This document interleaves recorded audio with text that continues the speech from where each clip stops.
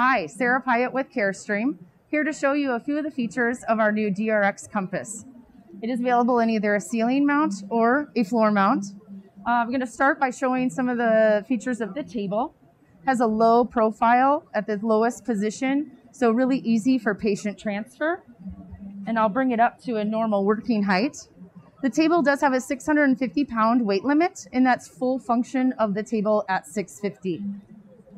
One of the nice features of our Buckys, both in the table and the wall stand, is the rotating tray.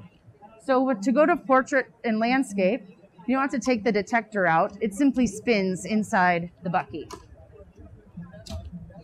We do have a lock for our foot pedals. And so now you can see the pedals are not able to be engaged, but we have a remote control on the side to do your four-way float and your up and down movements. I'll move on to show you some of the features of our Compass wall stand. First of all, I'd like to point out the Easy Glide handle. Makes it really easy on your technologist's wrist to move that wall stand up and down. This is our intermix tray. You saw the wireless on-demand tray in the table. This one uh, is able to accommodate a 14 by 17 or a 17 by 17. This system is also available in a tilting wall stand really nice for upper extremity work and the grid simply pops out.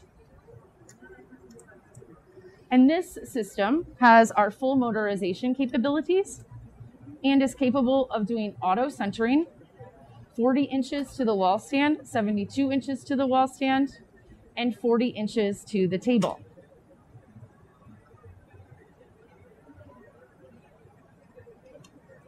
Then we can engage auto tracking and the OTC will follow the wall stand all the way down.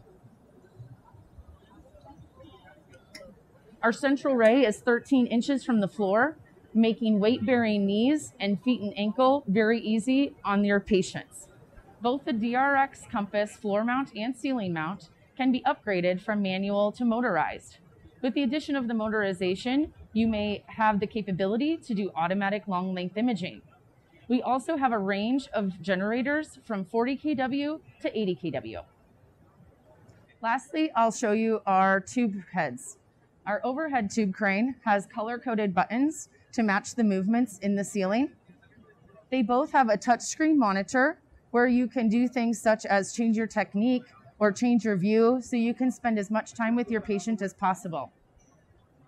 Both systems are available on either a manual or an automatic collimator.